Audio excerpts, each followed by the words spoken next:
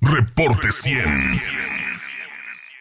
Mayo se cumple un año del asesinato del ex candidato a la presidencia municipal de Cajeme por MC Abel Murrieta Gutiérrez, también ex procurador general de justicia del estado en dos administraciones estatales, eh, fue diputado local, diputado federal y eh, pues un extraordinario policía, hay que decirlo, un extraordinario policía e investigador.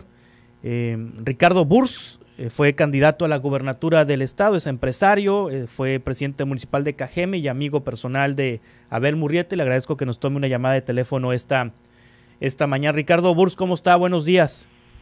buenos días. Gracias por tomar la llamada, Ricardo Burs. a un año, ¿en qué estatus tiene el caso de Abel Murrieta, Ricardo? Pues pareciera ser que en el olvido. Sí, en el olvido. Pareciera ser que en el olvido porque pues no, no hay resultados. Abel tenía una teoría de decir que los asesinatos y los crímenes se resuelven en las primeras horas. De otra forma se convierte muy complicado. Sí. Y hizo escuela, Abel, en, en, las, en las policías investigadoras, porque decía que, que que hay que resolverlo lo antes posible y, aquí a un año de, distancia pues no se ve nada, no se ve nada claro.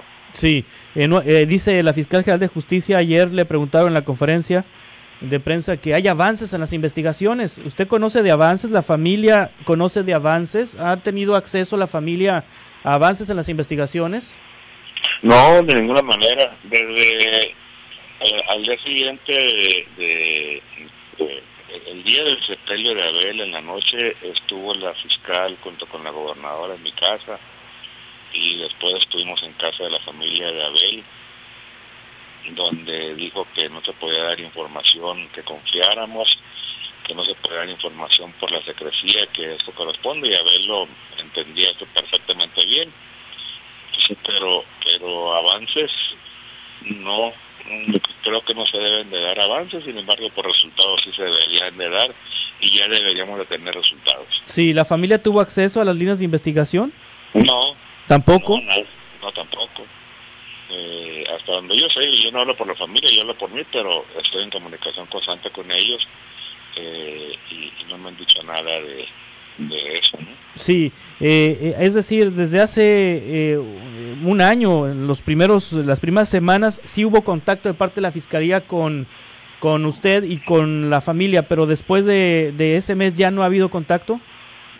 hubo contacto el primer día. Yo llegué de Agua directo el día 13 en la tarde, en la, noche, directo a la fiscalía. Y ahí verificamos algunas cosas. Eh, y al día siguiente, cuando eh, después de que vamos a ver ahí, este, eh, estuvieron la fiscal y la gobernadora, y, fue lo único que dijeron, pero no dieron avance, dijeron que la información le van a manejar con secrecía por, por, la importancia, sí. porque así eran las condiciones, entonces, pero que nos pero que iban a dar resultados y, hasta la fecha no dan no dan resultados hubo una situación eh, absurda verdaderamente. Cuando yo estuve en la fiscalía hablaban de un de un solo asesino. Al rato resultó que eran dos, los calibres eran diferentes. Eh, yo me junté con el equipo que estaba con Abel el momento que, lo ejecutaron, el equipo de campaña, me junté con los 19 muchachos y muchachos que andaban con él. Eh, y ellos daban versiones muy claras donde donde resultó efectivamente que eran dos que me dispararon, ¿no? Sí. Y a ver, tenía una teoría que la compartía, que, la, en ese momento estaba frente la fiscal, ahí mismo en las instalaciones de la fiscalía en Cafeme, sí. donde decía Manolo Barrios que había sido un calibre 40 y una 45 y yo le dije, a ver, hermano, a ver, tenía la teoría de que cuando a alguien ejecutaban con una calibre 40 era un mensaje especial y el fiscal no me dijo, era una calibre 45. Al día siguiente ya dijeron que se habían sido las armas pero los muchachos que estaban ahí, gente, muchachos de menor de 20, 25 años, ya distinguían eh, dos diferentes eh, armas. Sí. Entonces, este, con ello, hay cámaras por todos lados ahí, no se han dado a conocer. Eh, hay, hay, hay, negocios a los que nunca les pidieron sus cámaras, en fin, ¿verdad? Sí. es, por, es por cobardía que no se quiere resolver esto.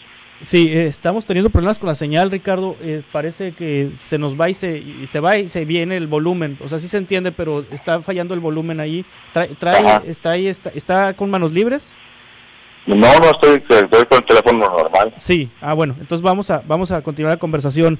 Eh, Ricardo, Manolo Barrios ya no está en la Fiscalía General de Justicia. ¿Él era el responsable en la investigación? Pues él era el director de, de, los, investigadores, ¿verdad? Sí. la policía no, no, sé qué no sé qué le haya eh, salió ya, ya, estaba jubilado sí. eh, eh, Manolo pero pero pues sale ahora de la corporación verdad sí sí eh, ¿qué, qué, qué líneas de investigación considera usted que la Fiscalía General de Justicia debe debe haber indagado o debe de indagar si es que no lo ha hecho? Pues todo el gente que podía afectar a Abel si hubiera llegado a la presidencia municipal. Sí. Eh, Abel iba a limpiar la corporación como lo había hecho antes y ahora que está tan inmiscuido el crimen en las corporaciones, pues le tienen miedo, ¿no? Sí.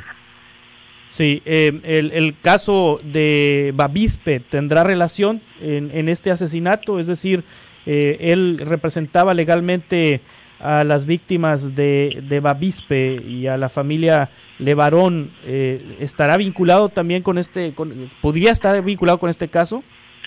Pudiera ser, en lo particular yo no, yo no lo considero. Sí. Pero, pero yo, yo no soy investigador. Sí. Eh, ¿Por qué la fiscal dice que es un caso complicado? Porque no quieren porque no quiere hacerle frente. Sí. Porque no quieren no porque no se atreven. O sea sí saben qué pasó pero no se atreven. Pues yo, yo, creo que sí. Sí. Porque no se atreven a, a, dar con los delincuentes. Porque quién sabe que en qué nivel estén metidos. Quién sabe qué amenazas qué capacidad de amenazas tengan a otros. Y, y, y no todos los funcionarios tienen el, el valor que Abel tenía. Sí. Eh, ¿Es de voluntad política esto? ¿Tiene algo que ver Alfonso Durazo en esto, en que se resuelva o no se resuelva un caso? De, tiene que ver, por supuesto, exigir a, la fiscalía que lo resuelva. Sí. Eh, yo confío en que el gobernador Durazo eh, haga lo concerniente. la, la gobernadora, la hoy cónsul en Barcelona, eh, prácticamente me juró junto con la fiscal eh, que permanece que iban a dar con los responsables de esto, con los autores materiales e intelectuales, pero pues no, no han hecho, no han hecho nada. Sí, hubo un video inclusive de la fiscal general de justicia, Claudia Indira Contreras, eh, aseverando que pues, sentía un compromiso moral, ético de, de resolver el caso, porque eh, pues prácticamente le dijo que era su mentor, Abel Murrieta. A mí me lo dijo. Sí. Si, si esto me hubiera pasado a mí, Abel diera sin lugar a dudas con los asesinos sí. y con todos los responsables. Por eso estoy obligada yo a hacerlo. Entonces, Pero hay, hay mucha diferencia entre, entre Abel y, la hoy fiscal. A un año nada se ha movido entonces. Hasta donde yo sé no. Yo estoy muy decepcionado de, del desempeño de la fiscalía y si esto estamos viviendo con un personaje como Abel, que Abel siempre anteponía, a, primero decía, si yo quiero que mis elementos eh, den con resultados, cuando hay un atentado contra mis elementos, yo voy a actuar con todo y a darles y, y que sienten el respaldo de que no están solos. Y así lo demostró con los asesinos del comandante Pavón, con una comandante que estuvo aquí en Obregón y que balacearon, que afuera de su casa. Eh, no la mataron, pero pero la desfiguraron y, dio con todo siempre. La, la, corporación tiene, tiene que sentir que yo estoy atrás de ellos, que yo estoy junto con ellos, que yo los voy a, yo voy a resolver, que no voy a permitir que alguien atente impunemente contra un miembro de la corporación. Ricardo Burs, ¿algo que desea agregar? Que es una situación sumamente lamentable, perdimos a un gran sonorense y que no le han dado el valor a, a su vida a la vida que perdió, a, la entrega que él tuvo para, para Sonora y que tenía mucho más pantalones que quienes ahora están ocupando el cargo. Gracias Ricardo Burs, empresario, por tomar esta llamada. Ya está muy bien. Hasta pronto. Reporte 100.